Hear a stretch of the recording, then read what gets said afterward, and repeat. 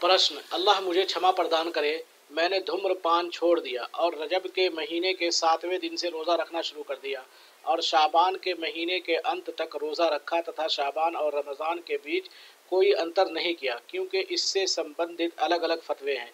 कृपया मुझे सलाह दें, अल्लाह ताला आपको इसका प्रतिफल दे। उत्तर, हर प्रकार की प्रशंसा और गुणगान केवल अल्लाह ताला के लिए योग्य है स्तुति गान है उस अल्लाह के लिए जिसने आपको इस हराम चीज़ अर्थात धूम्रपान को छोड़ने की तौफीक प्रदान की।